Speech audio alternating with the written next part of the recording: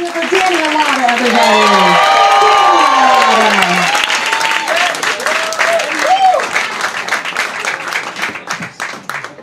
Hey everybody. How's everybody today? So as most of you are aware, officially, we recently entered the world of alternative facts, which clearly Trump has been living in for quite some time. He's gone so far as to say, nobody has more respect for women than me. I think his daughter might be the only woman he wouldn't cheat on. The dictionary defines alternative facts as a fancy way to say bullshit. You know who else was really good at alternative facts? My dad. I got hit as a kid when I did something wrong, and my dad had a belt hanging in the closet for those truly special occasions. Every once in a while, the buckle would hit me instead of the strap, and I'd be like, hey, hey, hey, that wasn't part of the deal. When it was over, we'd talk, and I'd marvel at the fact that my dad, in the most heartfelt, sincere voice, would say, Son, I want you to know that hurt me more than it hurt you. you don't say. Pop, that's an alternative fact. to this day, getting dressed is super traumatic, and I can't even put on a belt without breaking into a sweat. Now, in all fairness to my parents, I was always doing something I wasn't supposed to. I had ADD so bad, doctors literally wanted to tranquilize me. My mom had the patience of a saint, and my dad, the patience of a barracuda. I remember one time, I poured a container of orange juice over my sister's head. She starts screaming, Are you kidding me? Ma! My mom comes running into the living room. She starts screaming, What am I going to do with you? My dad comes to the living room, grabs me by the collar, and yells, Get over here! If I were a kid today, all I would have gotten was a timeout. They just don't love kids like they used to.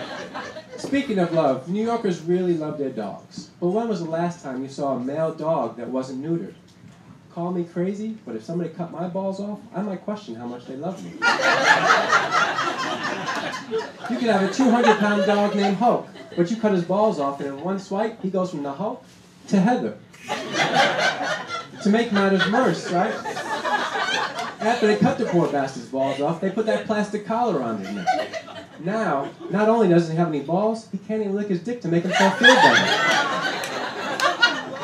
So recently, I went to my little cousin's baseball game, and the kid at the plate swings and misses, and I'm like, strike three, he's out, because he's on the other team, right?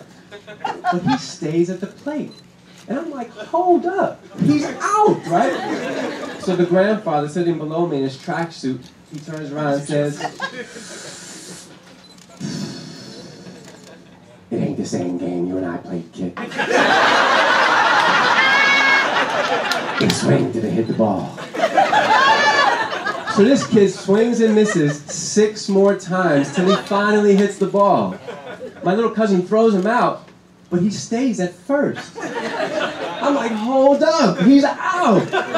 The same grandfather turns around and says, I told you, it ain't the same game. Everybody gets to run the bases.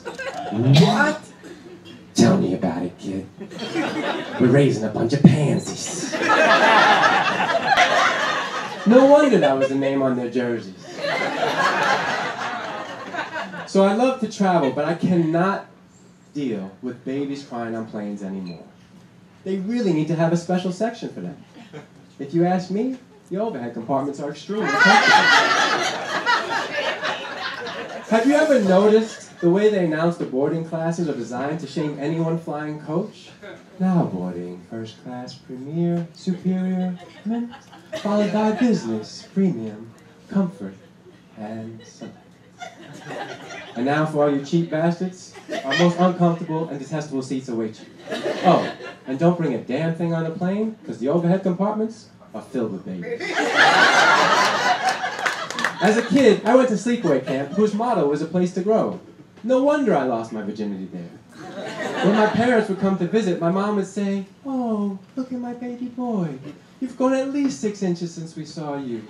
You have no idea. That's my time. Thank you very much.